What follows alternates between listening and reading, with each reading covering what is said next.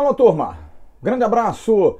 Um abraço a todos vocês ligados no canal Atenção Vascaínos. Domingão. Se preparando para logo mais para um jogo que é decisivo para o Vasco. Todos os jogos são muito decisivos de agora em diante, mais do que nunca, em função até dos resultados de ontem. Alguns até positivos, como por exemplo a derrota do Bahia, mas a vitória do Bragantino, a vitória do Atlético Goianiense foram resultados preocupantes, afastando um pouco mais esses times. Tudo bem, o Fortaleza ficou um pouco mais, mas já são seis pontos de diferença. E o jogo que o Vasco tem atrasado, tudo bem, o Vasco tem um jogo a menos, mas é contra o Palmeiras em São Paulo. O Vasco tem uma pedreira muito grande, de agora até o fim, são 14 jogos e o time precisa mudar a atitude. E hoje a tendência realmente é que o técnico Ricardo Sapinto Escale um time num esquema que muitos torcedores não gostam, o esquema 4-3-3, com Gustavo Torres de um lado do campo e o Thales do outro lado, que é um esquema que durante o ano todo não vem dando certo. Na verdade, tudo isso é em função de apuração, conversa dali, conversa da colar, mas a gente não tem uma certeza, ninguém tem acesso aos treinos. A informação que a gente teve é que na última sexta-feira o Ricardo Sapinto fez uma atividade coletiva e colocou o seguinte time em campo: Fernando Miguel, Léo Matos, Jadson Castanho e Neto Borges, Andrei, Cologil e Benite, na frente Gustavo Torres, Germancano e Thales Magno. Um esquema que repete aquilo que o Abel fez, com Vinícius aberto pela direita, repete muito o que fazia o Ramon Menezes, mas que definitivamente, na opinião de muitos torcedores, da grande maioria, não é um esquema que dê certo. Além disso, há uma outra preocupação, porque você tem Leandro Castan que é um zagueiro mais veterano, que joga melhor com dois zagueiros, isso já está comprovado. Ele fez péssimas partidas com o esquema de três zagueiros, jogando mais na caça, mas mesmo assim é um jogador veterano. O Fluminense tem um atacante muito rápido, aliás, são dois jovens, Wellington Silva e principalmente o Marcos Paulo. E na cobertura que o Castão vai ter que dar, há um lateral esquerdo que não é bom na marcação, que é o Neto Borges. Volto a dizer, gente, esse time é um time de informação, não é um, é um time definitivo. Por isso que a gente aqui não quer afirmar e dizer, não, o Ricardo Sapinto está com esse esquema confirmado. Não, não é. Mas se for, é importante que a gente fique de olho, porque talvez ele esteja cometendo um erro. Vamos dar o crédito? Vamos dar o crédito. Vamos então ver o que esse time pode, principalmente em termos de atitude. Isso eu posso dizer. Sexta-feira eu tive essa informação, trouxe essa informação aqui no canal de que tudo que aconteceu na semana, reunião de lavação de roupa suja, cobrança daqueles jogadores que gravaram vídeo pedindo participação em evento no final do ano e principalmente a manifestação do torcedor que foi ao centro de treinamentos, tudo isso mexeu com o grupo. Deu uma mexida, deu uma fortalecida e o grupo sabe que precisa vencer o Fluminense, mas vai enfrentar um adversário que, se vencer o Vasco, vai à terceira posição do Campeonato Brasileiro, gente. Então a gente precisa tomar muito cuidado. Não é assim, ah, o Vasco vai atropelar o Fluminense, vai ganhar do Fluminense. Tudo bem, nos últimos 11 jogos foram seis vitórias do Vasco.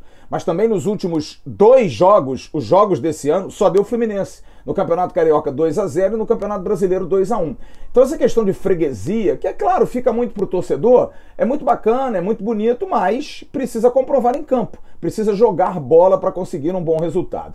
O time provável do Vasco é esse que eu coloquei. Repito, Fernando Miguel, Léo Matos, Jadson, que também é uma situação que se questiona muito em função de ser um jogador que jogou duas partidas apenas pelo Vasco, depois teve Covid, ficou parado, não jogou e volta como titular, mas tudo bem. É um jogador da confiança do técnico Ricardo Sapinto. Leandro Castan na quarta zaga e Neto Borges na esquerda. Andrei, que volta à equipe, é uma das novidades. Léo Gil e Martim Benite, que está seguindo aí para sua antepenúltima partida, ao que parece com a camisa do Vasco, lamentável isso. Na frente, o contestado Gustavo Torres, Germán Cano, que volta, ainda bem, é a grande novidade, a volta do nosso artilheiro, e Thales Magno, que também, como jogou contra o Grêmio, volta a ser titular. Tomara que não preso à ponta esquerda, como ele vinha jogando e mal nesse ano de 2020. O Fluminense ainda não tem um time definido completamente, mas deve ser Marcos Felipe no gol.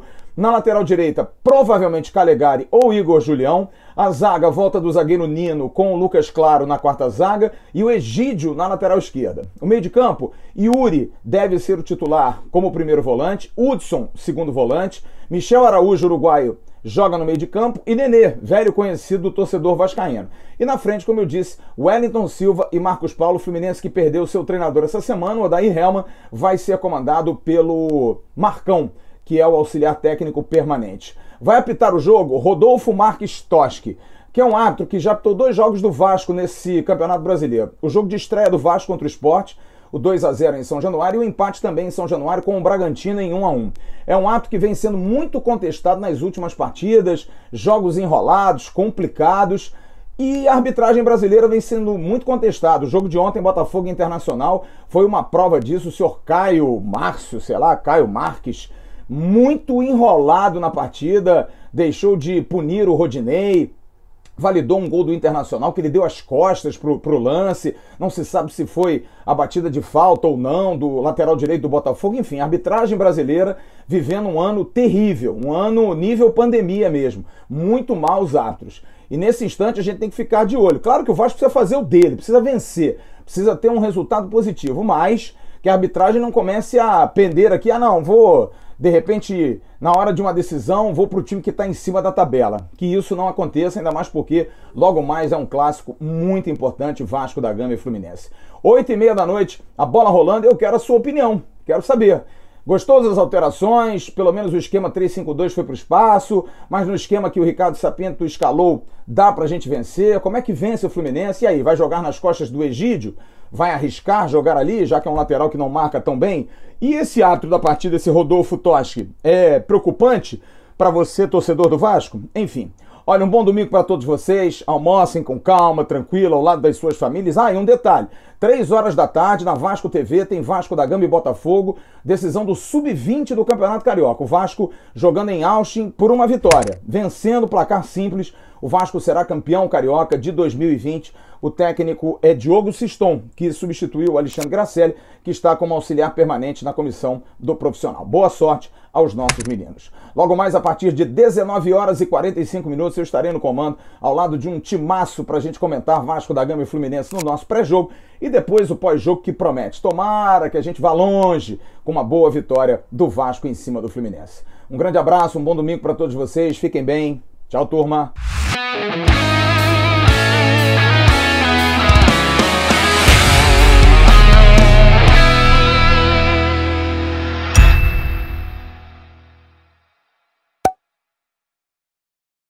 Atenção, Vascaínos. Ao Vasco nada. Tudo!